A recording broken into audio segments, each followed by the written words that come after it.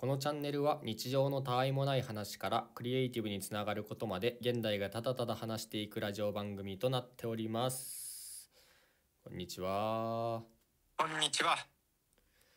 いよいよ、えー夏の終わりがやってきましてはい。ちょっとずつ涼しい日になってまいりましたけども絶賛ですね今私も夏休みに入りましてやっと。はい。言ってましたね。はい、まあ、夏休みといっても、まあ、結局東京に戻ってきてるこの1ヶ月は制作期間で埋まってしまっているので何とも言えないんですけども、そうなんですよ。はい。まあ、そんなこんなでちょっとね、あのー東京にあるものをねいろいろこうアップデートしようかなと思って自転車自転車のねあのライトがちょっとこうなんていうのライトは使えるんだけどあの取れちゃったというかこうすぐね自転車の振動でガチャンってこう床に落ちるようになっちゃったのよ欠けてて。あ、なるほど、なるほど。強度がね。そう爪みたいのが欠けててその充電する時にこう毎回取るんだけどこう取ってつけてをしてたらそこがちょっとパキッていっちゃってなんかすごい気に入ってたのになっていうのがあってでその携帯をねこうカチャってつけるやつもグリーンってこうすぐ回るようになっちゃったから新しくですね、まあ、その辺も Amazon で購入しまして。でまあちょっとねあのいい感じのやつを買ったんですけどまあなんかライトが1回しか使ってないのにもう壊れまして。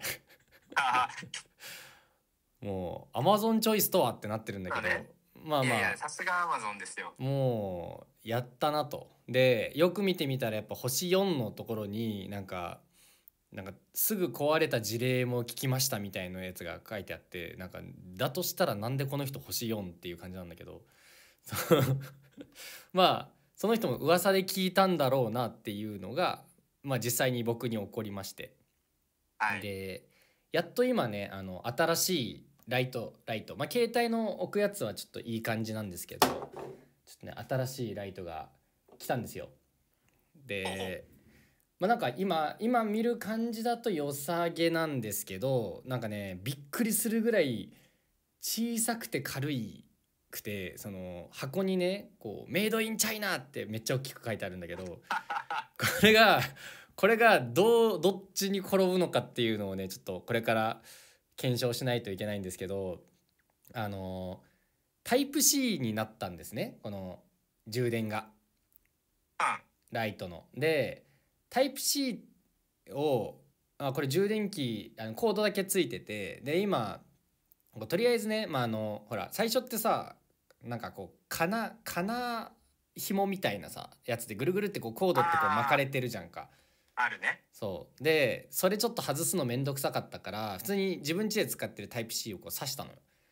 うん、ででどういう使い方かも分かんないんだけどなんかこの64%ってまず最初なってて、まあ、ろろ64%先に入っててでそれを挿してなんか特にこうだから一瞬なんか電なんていうの雷マークみたいな多分これ充電マークなんだと思うんだけどそれが一瞬チカってなるんだけど結局充電されなくってで。あれってなってでもこれもしかしてコードがうちのコードが壊れてんのかなと思って違う方のそのパソコンもねタイプ C だからその Mac のタイプ C のやつを挿したんですよ。そしたら、そっちもチカってなるけど何にもなんなくって出た出たと思って。今回はやもうられてんな。1回も使ってないのにってなって。まあ64%分は今使えるんですよ。光ってるわけだから。ただその充電ができないシリーズやってなってマジかってなったんだけどまあ一回ものは試しでそのついてきた正規版のそのね充電コードをつ使ってみたんですよ。はいはいはいはいそ。したらねまあなんともスムーズに充電ができましてでこれねそう何かと思ったらタイプ C なんだけどタイプ C のこの差し口のなんていうの長さが長いのよそのオリジナルはそんなことある。そうだからね届いてないっていうその奥までそのコードなくしたら終わりじゃん。そうだからいやそんなことあんのってなって なんかさすがやなっていうもうギリギリまで楽しませてくれるやんっていうぐらいのちょっとものになってしまったんで、まあ、ここはねちょっと死守しないといけないんでこれ用のねなんかコードみたいのを買ってやるのかそれともまあこのコードをちゃんとどっかにねなくさないようにもうコンセントとかにもつけたまんま保存しておくのか。っていう戦いにそっちだろうな。はい。なってもうんメるですけど。ーカーが勝手にオリジナル企画にしちゃってんじゃないそれ。そうかもしれない。でもねタイプ C はタイプ C なのよ。そこが腹立つよねその。あ その世界基準なのにこう長さで届いてないっていうね。なのにこういうのってさこういうのについてくるコードってめっちゃ短いじゃん。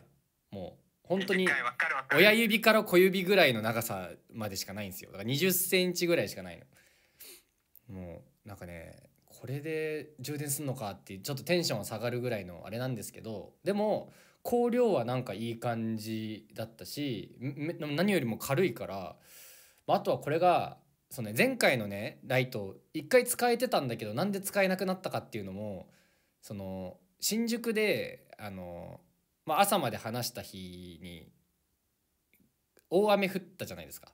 あ降ったねそれが原因なんじゃないかなと思っててそのその1回前に使った時は普通に使えててでそこからチャリ乗ること意外とあんまなくってでそこで乗ってそんでまあライトた確かついてたはずだったんだけどまあその時はねこう気づかなかったけどで大雨にさらされてもう帰って次の日つけたらなんかついたりつかなかったりするみたいのがあってあこれ充電切れてんのかなと思って充電したんだけどやっぱり同じ現象になりましてなんかもうこれは雨しか考えられないなと思うんですよ。まあ、家に置いてる時はねカバーかけてるんで。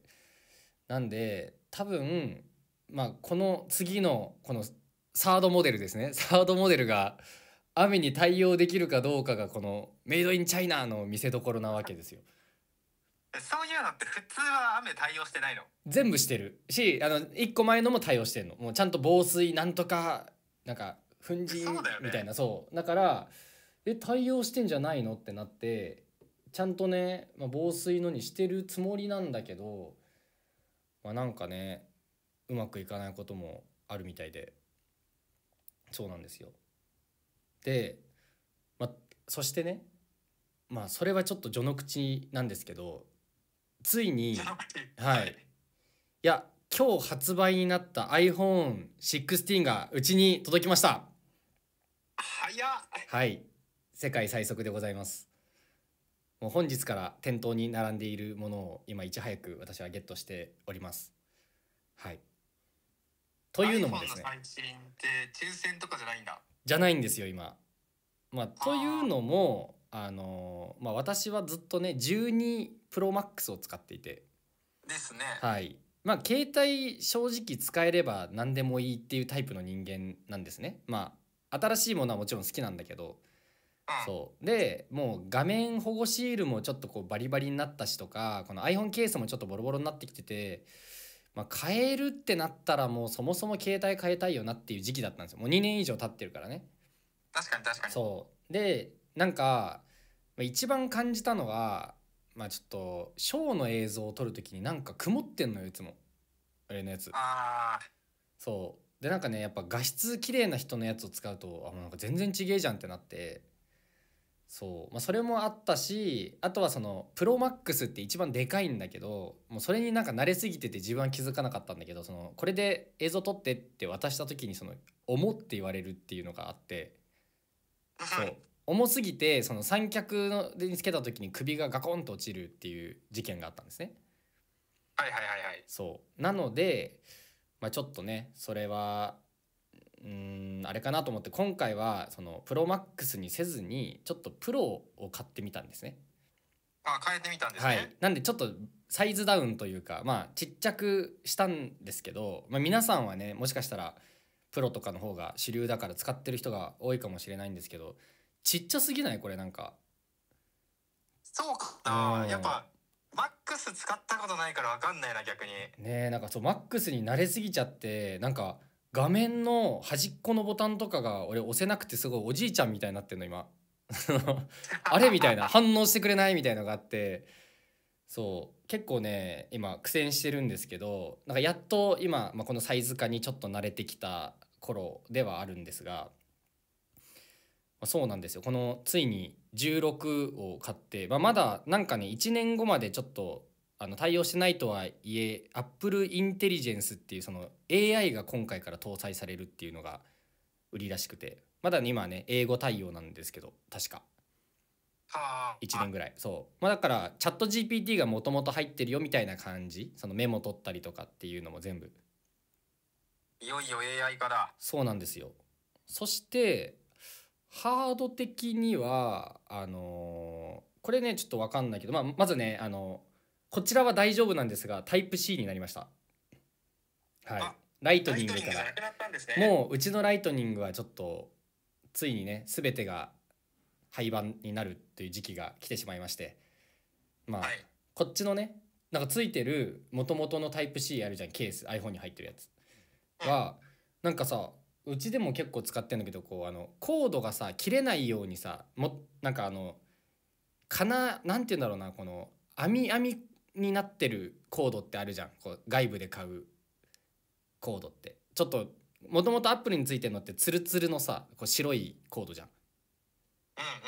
それがなんかもうちょっとこう切れないようになってるこう三つ編み状態みたいになってるさそのああのコードわわかる。充電器。ちょっとハードめというかなんかこう折り曲げたりしてもこう大丈夫だよみたいなやつをそのうちではライトニングで使ってたんですけどそれみたいなタイプ C がもともとのこの iPhone のケースに入ってて。えー、そう。でなんかもうね説明書とかステッカーとかあとコンセントとかついてないんだよ今。最低限になってんだ。そう。だから本当にあのカチャって開ける鍵とそのそのコードがぐるんってあの綺麗になっててめっちゃ薄い箱で来たのよ。っていうだけなの。は。そうだから今はねなんかそういう仕組みになってるみたいでまあその説明書もなければあの昔ねリンゴのアップルステッカーが入ってたのそういうのももうなくなってて、まあ、ちょっといつの時代だよっていう感じかもしれないんだけどもうなんか今こんな感じなんだっていう本当にだから充電してくださいの先がそのタイプ C to タイプ C だけみたいなコードしか入ってないからこれ Mac とか持ってない人どうするんだろうと思って。いや本当だよ。買うしかないじゃんね。そうそうそう。だからでもそう買う買わなきゃなって思ったんだけどだから結構タイプ C に今悩まされてる時期ではあります。い。やしかしいよいよライトニングがお役御免だな。はい。そうなんですよ。そして通知ボタンが自分の12使ってる時はカチャカチャってその通知オンオフっていうのを上下にこうできるような感じだったんですよあの音量の上についてるやつね。音量の上についてあるそうあれがカチャカチャって上下に動かせるやつではなくなってもう押しボタン式になってます。えー、なんかご操作しそそう。あとは電源ボタンの下になんかねなんていうのタッチセンサーがつくタッチバーみたいのがつくようになっててここでそのカメラのズームとかなんかいろんな輝度とかそういうのできるようになったんですよ。うははうん、っていうのがハードの一番変更点なのかな。もうまだね画質とかはちょっと見てないんであれなんですけど、まあ、容量もそんなにね大きいのは買わずにあの Google ドライブをねまあバカ買ってるんでちょっと、まあ、容量はまあいいかなっていうことで今回はあの普通に使えればっていうので前回の 12ProMax と同じ256ギガを選んでみました。はいはいはい。まあ256がねスタンダードだよね。はい。そうなんです。そしてそしてですよ。はい。ちょっとこれはねもうね欲望に負けたんですけど。あら。まあそろそろかなっていう。こちらもまあ同じ理由でその今変える必要はないんだけどもう5年ぐらいね経ってますしちょっとそろそろ不具合かなっていうこともあってずっと狙ってた MacBookPro をついに購入させていただきました。出ました。はい。ついに。M3 チップでございます。はい。あの、はい。結構前からねそうなんです。買えるか買えないかみたいなことを言ってましたね。もう1年間ずっと迷って、まあ、結局 iPhone も別に1年間でかもうねもっと迷ってたんですけどまあなんか15が出た時にも一回ステイをしちゃったんでなんかもうもうそろそろちょっと変えたいなっていう時にたまたま16が出たんで iPhone もパーンって買ったんですけど、まあ、これもねまあ早かれ遅かれ買えるものだなっていうこともあってまあ昨日ちょっとね電気屋さんに行ってきましてもうなんか普通にねなんかこうワクワクしてるのもちょっと恥ずかしいからあのアップルのその店員さんに「これって」みたいな「ここっちのインチってどうなんすか?」みたいな聞いて「あそうですねこれはなんとかで」みたいな「えー、あ14と16インチってこんぐらい違うんですね」みたいな「あそうですね」みたいな「中身ってこれこういうのとかやる時ってどうなんですか?」みたいな「あなんかこんぐらいはこういうのもありますね」みたいな「じゃあぜひご覧ください」って言われた時に「あ買います」って言ったの。えそう。えっ？てなってお向こう絶対今日フラッとお店見に来た人だよねのテンションでこっちもその話しかけに行ってあこんな感じなんすね。みたいな。その初めて今見ましたみたいなテンションをねちょっと演じてそのえーみたいなあじゃあ結構あれなんすねみたいな僕結構使ってんの昔のやつなんでとか言って言ったらあそうなんですねみたいなえなんかお客様作業とかされます？って言われて「あそうですね。アドビ使ったりとかたまにしますけどね」みたいな「そういうのってどうなんですか?」って言ったら「いやもう全然サクサクいきますよ」って「あそうなんですね。えー、あじゃあ買います」って言って。おーってなってて「あえご購入されます?」ってやっぱもう一回聞かれたから「あしますします」って言って。あじゃあ今用紙持ってきますねっていうなんかそのちょっと2店舗ぐらい遅れた感じの店員さんのリアクションが結構面白くて。まあこっちもねなんか言っちゃったと思って。あもう買うしかねえってなって。そうもうなんかやっぱなんかねどっかで自分がおかしくなってて。ただもともとねその今回パソコンをまあ使っていく上でそのカスタマイズをするんですよ今この MacBook はね。でまあちょっと前回のこの今使ってるパソコンだとちょっとこことかここもっとこうなったらいいのになっていうのがあったんでカスタマイズどうしようかなと思っててその理想形だけをいくとその、まあ、すっごい高いんですよもうめちゃめちゃ高いんですよでそれの値段でずっと考えてたからいやーと思ってで店員さんに改めてこれ聞いてみたらなんかこれ中身これぐらいの作業をしようと思っててどう思いますって言ったらもうなんかやっぱ5年使ってるっていうそのタイムラグがあるだけあってそのいや一番下のスペックでそれぐらいだったら余裕ですって言われて「まマジっすか?」ってなって「マジっすか?」ってなって「えでもこういうのとかこういうのとかでいやいやあのもっとその映画作ったりとかモデリングする人だったらそれぐらい必要ですね」みたいな「そういうことやられます?」って言われて「いや絶対やらないです」ってなって「あだったらもうこれぐらいでいいですよ」って言われたから当初よりすごい大幅にその値下げというかまあまあ自分的にはね,、その予算よりも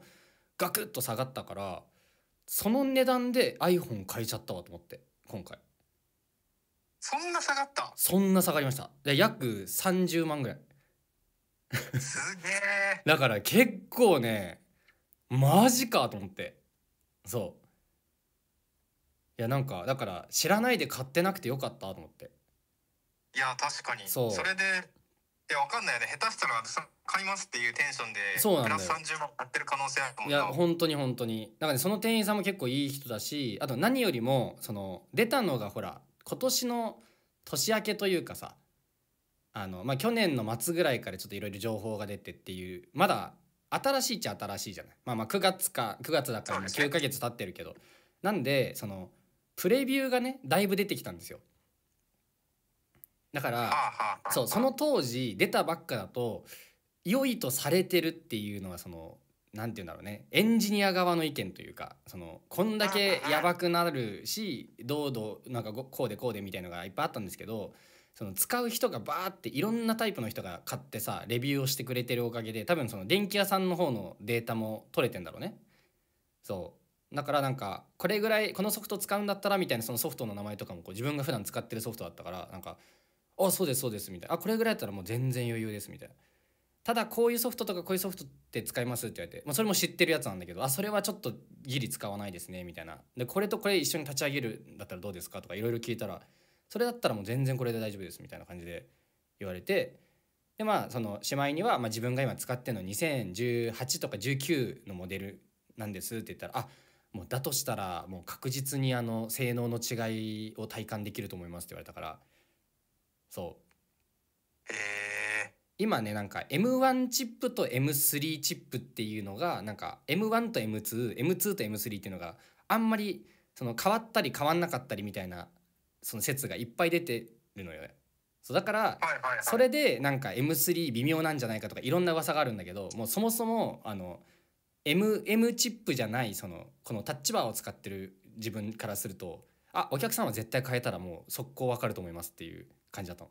ああもうお話になりませんお話になりりませんっていうもう本当に。そうなんで もうあの買ってくださいと。うん。であのそんなにバカ高いのをあの、まあ、ゆくゆくすごいいろんなことやりたいなら買った方がいいけどあんあんまおすすめしないですって言われたからなんかあそれはでもいいこと聞いたなと思ってそうただこういうことをやるんだったら絶対今のうちにこのもうバージョンまであのカスタマイズしといた方がいいですとも言われたからなんかあだとしたらそこまではやらないんで大丈夫ですっていう話になってそう。まあただねあの MacBook に関してはちょっといつ来るかがわからないっていう今状態で購入したのでちょっと数ヶ月そう待たされる可能性もあるし早かったら何週間で来る可能性もあるしっていうのが、まあ、ガチャガチャなんですね。まだワクワク期間ですね、だからその MacBook をねいつかいつか届くと信じつつ買った代わりに iPhone は最速できたっていうお話です。いやー2つのギアをニューにするのやばいね。そうなんだよ。たまたまだけどね。もうちょっとねやっぱ何もすることがないんで東京帰ってきたら今のうちに新しいのしとかないとまたバタバタデーが始まるんで、でそれは間違いないっすわ、はい、帰る時に買っとかないとね。さ途中でほらパソコンもさ今調子悪いからさそのね急に壊れちゃったらもう終わりじゃないですか。そうなんですよね。いやー PC ねちょっと MacBook にしようかなってね検討してるんですが、うん。なかなかこうあの Windows ユーザーからするとちょっと Mac が敷居が高く感じてしまうっていうさ。なるほどなるほど。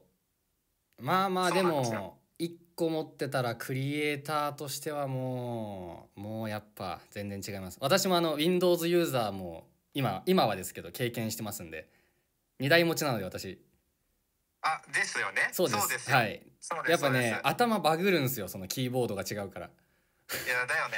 そう。だけどまあ最近はもう慣れたけどなんかねちょっと Mac はやっぱ最高ですね。使いやすいっていうのもあって、まあ、iPhone 使ってる人だったらねその特に互換性があって、まあ、僕 iPad もね Apple Watch もちょっと使ってるんで意外とこう Apple 信者そうなんですよ。ということでまあちょっとね新しいアップデートをしたお買い物デーでしたってことです。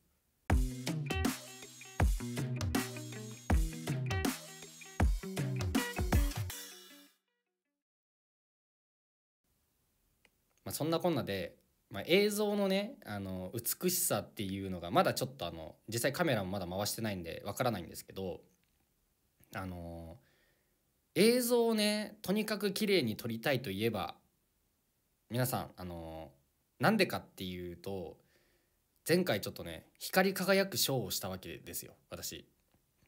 してましたね、はい、福岡でまあラストデーをちょっとついにね、まあ、皆さんに「これか!」っていうコメントもたくさんいただいてたんでちょっと嬉しかったんですけどその前からねちょっと今仕込んでる新ネタがあってっていう話をしてたんですけどついに YouTube でフル公開させていただきました。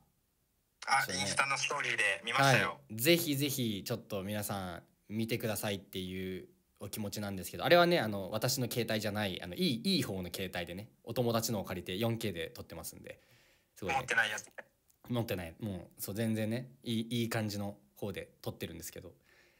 もうねいやーレーザーショーをついに始動しまして。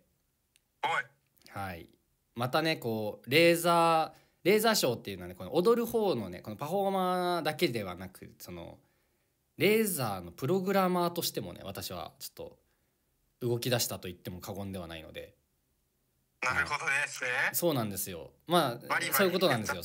自分でレーザーをまあねいろいろ作ってあああしてこうして何秒でここにこうなってっていうのをやるわけなんでやっぱねそこがもうあの MacBook に育てられた私のこの映像編集と作曲技術とっていうのが今全てがこう噛み合った感じ。そして照明のライティングプログラムをシアターで学び色合いとあれを学びっていうのが今ちょっとねコネクティング・ザ・ドットですか？こう点がつながっていく人生を今ね体感してるわけなんですけども。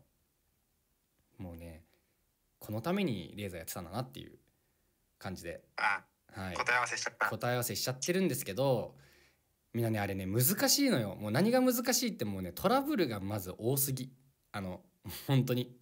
トラブルが多すぎだしあの気にしなきゃいけないことも多すぎだしあとね意外と皆さんあのね動画見たらちょっとね気づくかどうかわかんないんですけどなんかダンスとまた違う領域でのネタ作りなんでほうだからシンプルにレーザーショーを作っちゃうとそのパソコン上でしかねレーザーって作れないんで、まあ、2D で見てるわけですよそれを。ビンって。まあ、今あの上からねこうバーってレーザーが床に投影されてるんですけどその床に映ってる模様を 2D で見て作ってるだけなんでその 3D で実際に上からこう出たらここにこういうのがありそうとかっていうのを想像して作るんですけどもう本当にね大変というかそのパソコン上でただ作っていくともう音楽をレーザーで説明するショーみたいになっちゃうんですよ。ただ単に。ああ出すまでね動きとかは分かんないもんね。なんかそこにこれもっと引き算しないとこうダンス入れられないなとかいろいろねそういうのがあって、まあね、そこも結構ね大変であり面白いというか、まあ、やりがいがあるポイントなんですけどまたねちょっと来シーズンですかね10月半ばぐらいになったら新ネタをねまた入れたいなと思ってますんでちょっとそこまでにね皆さんのお力を借りてちょっとレーザーショーのねあの一発目「ニューホーム」っていう作品なんですけどあれをねはい。バチバチちょっと拡散お願いいただけたらなと思っております。もうついに日本人でここまでのレーザーとダンスを合わせたショーやってるやつが出てきたぞと。もうこういう時代だぞと。ね。そんな感じでまあなんか LDH のねその直人さんとかもね最近ちょろっとやってるのを見ましたけど。もうやっぱりまあ本当にレーザーとダンスを使うって、まあ、見ていただけたら分かると思うんですけど難しいんですよね。はいはいそうはいなんですよ。ただ、まあ、僕はもう元祖やっぱロボットというかこの SF でやれるねダンススタイルでやってるっていうのは結構あの強いかなと思ってお得かなっていうところもあるんで、まあ、そこを合わせてちょっとレーザーショーをねもうちょっとこう近未来のね SF な作品に仕上げてちょっと出していきたいなと思っております。はいはいはい、まあ、現代オリジナルなそうです。テイストで。そう。もうあのアップルを感じる感じのね。やっぱりじゃあニューホームは M3 チップってことですか？そうです。もうサクサク度が全然違いますしあの、うん、ダンスがねもう何倍にも早く感じます。きっと。そう。ね。滑らかな動きになってるように感じますんで。はいはい皆さんはいぜひねで多分次撮るレーザーショーはあのもうこのね iPhone でがっちり押さえるやつになると思うんで、まあ、レーザーさがねねそうレーザー、レーザーで iPhone のレンズとかが壊れない限りはあの 多分生きてると思うんでぜひそちらもお楽しみにしてください。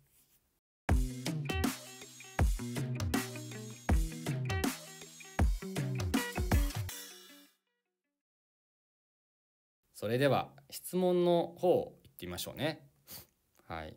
もし1ヶ月間まるまる休みだったら何したいっていう質問だったんですけどたくさん来てますね。はい、リエさん。黒子さん探しの旅もし見つけられたら観察してみます。すぐには話しかけないタイプ。ああそっちだ。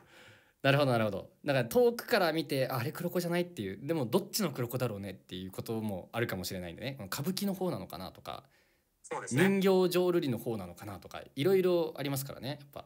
はい。そう。黒子さんの中でもやっぱダンス黒子かどうかを見つけるっていうのはまあね意外と至難の技だと思います。ぜひちょっと見つけたら連絡ください。はい。まあはい。観察してね気づかれないと思ってるけど自分が見えてる時はもう気づかれてますんで、そうですね。はい。意外とね視野が広いんであれね。あっちもね、そうです。はい気をつけてください。気をつけてください。はい。続きまして。神谷さん。徒歩でどこまで歩いて旅ができるかやる。なるほど。あの1ヶ月あったら確かにやってみたいこれ。うん。これ行きっぱなしなのか往復込みなのかでちょっと話違うね。いやーでもね行きっぱなしでいいと思う。なんかどこまで行けんだろうな、ちょっと東京帰るわって言って俺福岡から歩いてみたいもんねやっぱね。その1ヶ月あれば行けんのかうな、んいやいけないね。だってわかんない。いやわかんない。1ヶ月あったらいけるかもね。1ヶ月あったらいけるわ。絶対。うん。だってわかんないけど。4日目ぐらいで多分まだ広島かってなると思うの。そうですでよねもさ楽しいと思うんだよね。そのいろんなものを食いながらこう歩いたりすんのも。はいはいはい。さすがにこの夏はしんどいけどねそう。いやそうだよね。天候が良ければねまあまあまあ全然気持ちいい旅になるかなと思います。素敵なね出会いありの。はい。いやいいな。その企画いいね。ちょっとやってみたい。はい。続きまして。みどりさん。キャンピングカーで日本横断したい推し友達に会いに行きたいな。あキャンピングカーいいよね。キャンピングカーはいいですよねやっぱでもみんな旅行に行きたいんですね。ね。うん。そっかそっか。でもキャンピングカーはやっぱ憧れるしその寝泊まりできるっていうもうまあこれはもうなんか全人類の夢を詰めたあれですよね。やっぱそうですよね。キャンピングカー作った人すごいよねやっぱね。あうん。あれって住所とか取れんのかなキャンピングカーで。いや取れないでしょそっか。取れないね。移動しちゃうもんねうん移動しちゃうからだからねうん。あのどうなんでしょうね。やっぱうん。免許証とあるってことは家住所なきゃダメじゃん。っ確かに。ていうことはその流浪の民にはやっぱなれないってことだよね。そうです。そういうことです。そうですね。やっぱそういうことなのか。まあどこかにホームがなきゃいけないってわけだ。うん。ちょっとねホームはやっぱ大事です。はい。いやでもいいなキャンピングカーはい続きましてえー、けいこさん。福岡に住むと言いたいけど綺麗な青い海でスキューバダイビングしたりひたすらダラダラ寝たい。あーやっぱ忙しい人はねそうなんだよね。うん。でもやっぱね自然に触れるっていうのはすごい大事なんでやっぱねあの東京に帰ってきたじゃん。で来ましたね。1ヶ月まあまあ仕事があるとはいえ休みの日やったら何したいかなって思った時ちょっと福岡に温泉とか入りに旅行しに行きたいなって今思っちゃってるもんね。だからなんか そのさだって福岡に早いる時はさ福岡にいる時はやっぱ休みがないからそうそうそう。休みを使って東京に仕事しに来てたからさその東京でゆっくりできるってなってもさそしたら福岡とかに旅行しに行きたいんだけどってなっちゃうっていうところはあってまあやっぱね福岡っていうものがねそのねかんまあねゆったりできる場所とはいえ今はね職場になってしまってるっていうそのそこもね確かにやっぱあるんですよ。うん。まあでも温泉行くならやっぱね、大分とかね、うん、福岡の方やっぱ行きたいですよね。宮崎とかね。行きたいですうね、ん。はい。鹿児島もう一回行きたいね鹿児島も行きたいね。楽しかったなあ。陽子クリエイティブさん。旅行です。海外も視野に。あ、海外もいいね。海外もいいですね。まあ、1ヶ今だ月。とどこなんだろうねうーん暑いまあでもねうちのメンバーのとあるとあるメンバーがねついこの間、とあるアジアの2カ所に行ってましたけど行ってましたうね、んやっぱ羨ましいよね一人でこうポッと行けるっていうそのその感じね。フットワークの軽さ。フットワークの軽さですね。いや海外海外か。どうなんだろう。でもまあやっぱねそうそれでいうと福岡とかはほら東京に帰るより韓国行く方が近いっていうのもあって。そうだよね。そう。韓国とかねまあたまにちょろっと行ったりしてましたやっぱ。最初福岡行った時とかはそれすごいよな。韓国のが近いって結構びっくりだよね、まあね同じぐらいだけどね。ほぼほぼ同じぐらいだけどまあ東京行くのと値段も時間もそんな変わらないっていうところで行くとそうなんですよ。まあっていうのもあるんですしあの私は何よりもねあの今回の旅でパスポートをゲットしたのでもこないですね。うもう強いっすよこっちは。どこでも行きたいとこ行けますんで。はい 確かに。パスポートね。パスポート大事だよね。大事だよ。俺もうやっぱなきゃ。10年っていうものが切れた時のそのなんかあそんなそっかそそっかってなる感じやばいしやっぱ 10年さ何も考えずにいそのね持ってたわけだからその自分の証明書としてももちろん使えるしその別に何か呼ばれてもパッといけるけどこのパスポートがなかなか作れないトラブルあったじゃないですか。もうこの期間のヒヤヒヤ度というかなんかあ今年もなんかこうまた韓国行きたいなってなった時とかに思い出すんですよ。そうだ今俺パスポートないんだみたいな。その 何も。そう。なんであれ郵送にしてくんないんだろうね。いや本当に。いやだし全部もうネネットでやれるようにしてほしい。もう新規から何からもう何でもこんなねマイナンバーとかやってんだからさ。いや本当だよ。マイナンバーやってるんだからさそこやってほしいよね。そう。本当にね日本はそういうとこですよ。もうそういうとこをみんながパスポート持ってないから 外に行かないから知らないの。本当にそういうの。言ってくださいもう。本当に。パスポート取りに行きましょうみんな。テクノロジーがねどれだけ遅れてるかっていうのをちょっとちゃんともうね体感しましょう。ね。はい。終わりました続きまして「播州の賑やかしい人」長編シリーズのアニメを見る。すごい。タイトルですね。長編シリーズのアニメを見る。あでもこれは確かにあの自分が27の時1年間丸々暇したんですよ。そんなことはないんだけどねまあロスとか行っててほら海外行って帰ってきたらこうなんかポカンってなるのよね。うん。そう。そういう時にあのやっぱなんかそういえばこういうのあるから見てみなって言われてたなっていうアニメとかをそれこそ「エヴァンゲリオン」とかもうアニメシリーズから映画シリーズから全部見たしだから「ワンピースも20話ぐらいまで見てみてもう忘れちゃったけどそうとかなんかねそういうの一回やってみて自分アニメとかあんま見ない見ないというか通ってこなかったんでなんか。でも楽しかったっすやっぱりそれは。うん。えなんかね。ー、ワンピース楽しめた？ワンピースも楽しかったと思うよ。そう。いやだけどあんまりあその、ま、漫画だったかなそれは。そっちは漫画で20冊ぐらいその読んだけどまあまあへーって感じだったすごい。へーって感じ。いやいやなんか楽しかったけどなんかねポーンってことでしょ？ポーンっていうそのちょっとこうテレビとかの方がやっぱ自分は楽かなっていうその漫画はやっぱりこうね持ってああいくると手疲れるしこうペラペラしていくのちょっと嫌だなっていうのもあって。や確かにね。そう。今ね本とかも自分はこう iPad とか携帯でこう見るタイプなんでちょっとねそっかそっかっていう感じです。はい。で通常質問も来てるんでそちらも。りえさん、えー秋は美味しい食材がたくさんありますが今一番食べたいものは何ですか？私は梨が大好きです。梨ね梨ね。梨？はね本当に大好物だったのにねアレルギーで喉が痒くなっちゃうんですよ。一緒っすね。なっちゃったなっちゃったのよ。めっちゃ好きだったんだよ。めっちゃ好きだったのに梨とリンゴはねそのせいで俺そうなんだよ21時ぐらねいから食べれてないですね。うまいんだよね。でも気持ちはわかりますよ。もう今は食べれないけど気持ちはわかる。本当に。梨うまいんだよな。えー秋。秋って何がうまいかな？え結構でもどこ行ってもなんかうめえなっていうものを食べに行くのがやっぱ好きというか日課なんで。そうですよね。うん、季節はそんなにねこうあんまりあれかも。あでもそれで言うとこうやっぱ福岡のお寿司屋さんってこう旬の魚っていうのがあるのは結構いいですね。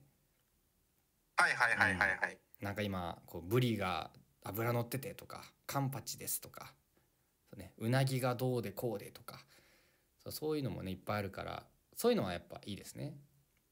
うんうん。でちょうど今だと魚だとサンマが旬なんじゃないですか？そうね秋なんでね。うん。どうなんだろうね。まだ秋なのかはちょっと分かんないけどもうそろそろ秋なのかな？確かに。うん。ちょっと基本的にね暦は秋だけど、現実はまだ夏終わりって感じですから。うん。まだ早いかもね。ですいやいいな。食はいいですね続きましてちょっと恵子さん今だから言える舞台ホームで焦ったトラブルなど聞きたいです。焦ったトラブルはもうねありすぎて あのね。何を話せばいいかがわからないんですけど、まあ、はい。それで言うと、あのまあ一番まずあったのはその全公演と言っていいんですけどそのシーソーっていうね、まあ、あの現代はが飛ぶやつがあるんですけど最後に。まあ、がもう直前のリハーサルでバーンって倒れて。あれはやばかもったねう2回ぐらいあったもんねそれがね2回あ3二回あっ回あってそうちょっともうねなんでっていうもうむしろ誰も怪我してないのすごっていうぐらい本当にまあそのねずっとお伝えしてた通り250キロが倒れるわけですから。まあこんな危ないことはないのにここねやっぱ気を引き締めてるつもりなんだと思うんですけどやっぱね倒しちゃうんですよね。あれはもう普通に終わったってなったもんね。終わったよ本当に。床が抜けたりしてもねおかしくないぐらいの重さなんで。いやそういうのもね大変でしたね。まああとはちょっとね照明さんとはこうバチバチに喧嘩したっていう 裏話がありましてまあ クリエイティブなね喧嘩そうですそうです。あのやっぱりちゃんとねあのこうこういう風に見せたいっていうのがやっぱあるんでなんかそこをね汲み取ってもらえないとやっぱ私もプロとしてちょっと黙ってられないよっていうところがあってまあいろいろね喧嘩したんですけどそういうのもねすごい良かったしそう焦ったトラブルで言うともうなんか本当にねあのこ今言った話ってすごそうだけど本当氷山の一角ぐらいなんでもうたくさんありましたね。じりじり出したいけどもうたくさんありました本当に。時間が変わっちゃったりとかあったし、ありました。うーんあと何だったかななんかねその物,、まあ、物がねここにあるないとかっていうのがもうやってる最中に起きたりとかね。あったりしましたし。もうもうね本当トラブルしかなかったんで逆に。あの今だから言える成功した場所の方が話せるかもしれないですね。本当に。はい。続きまして恵子さん。好きな汁は何ですか？私はだしですいやもう自分もだしですね。だし好きワンだからね。いやもうそれで言うとやっぱあのクバラっていうねあの私がもう再再三お伝えしている、まあ、九州の出汁があるんですけどクバラっていう調べてみてくださいね。はい。久久しいに原原っぱの原クバラなんですけど、まあ、そこがやってるあの茅野屋っていう、まあ、一番有名なねあの茅野屋の出汁っていうのが福岡のあるんですけどそこクバラと同じ、まあ、会社でやってるんですけどもうやっぱ茅野屋の出汁をやっぱ買ってきてそれで作る豚汁。もうね涙が出るよ。本当に。カイジじゃん。うん。本当にもうね涙が出るしあのご家庭の豚汁ってこんなにうまくできるんだっていうレベルなんでこれはちょっとねもう皆さんに振る舞いたい。本当に。え何のだ何だってなんですかそれって？それはなんかいっぱいあるのよ。もう茅野屋の中でもその鶏とかしいたけさあのあごだしとかいっぱいあって67種類ぐらいあるのね。でそのなんか特化してるシリーズで。で1個にはこう 6, 6パックぐらい入ってるみたいなやつなんだけど、まあまあ結構ねいいお出汁でなでそこに、まあ、汁物にぜひみたいなそのなんかいろいろ載ってるのよ。これに使うんだったらこれが一番いいですとかっていう。はいはいはい。ありますねそそういうの。で確か自分が買ってきたのはちょっとしいたけ系のやつだったと思うんですけど。あそれやばそう。もうねなんやこれってなるっていうかそのもう味噌とかが勝てないのよ。そのあすごいね。わかるかな？そのだしと味噌ってこうどっちも入れるじゃん。そののあのこのだしパックをこれに変えただけでこんだけ変わっちゃうならもう味噌がなんか負けたわってなるみたいな味してるっていうのがねやっぱ素敵です。いや相当ですね。はい。ぜひ皆さんも、まあ、茅野屋ね、あの空港とかでも買えるやつなんで、ぜひ、ちょっと、余剰があれば、はい、お願いします。はい。はい。それでは、えーたくさんの質問ありがとうございました。質問は黒子のインスタグラムアカウントダイレクトメッセージにてお送りください。アカウント名は黒子アンダーバージャパン黒子アンダーバージャパンまでお願いします。また YouTube のコメント欄でも質問受け付けておりますので次回はですね新しく買い替えたいものの話をお聞かせください。はいもうね新しく買い替えたいものといえばねもう家からいろいろありますし言うことを聞かないペット。ね。いろいろ。いろいろありますね。皆さんね。うん本当に。もう今ねうち電子レンジもちょっとなんかね買い替えたいなとかあのはいはいあと洗濯機もうなんか調子が悪くて、あれうん。やっぱねそういういっぱい出てきちゃってさ買い替えたいものが。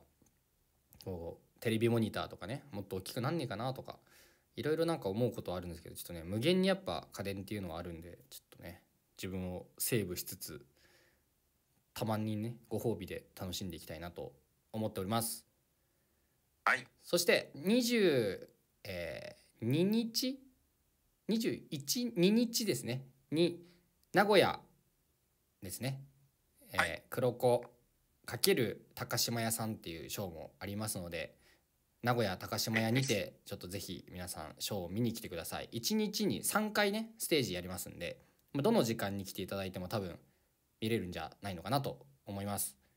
はい。はい。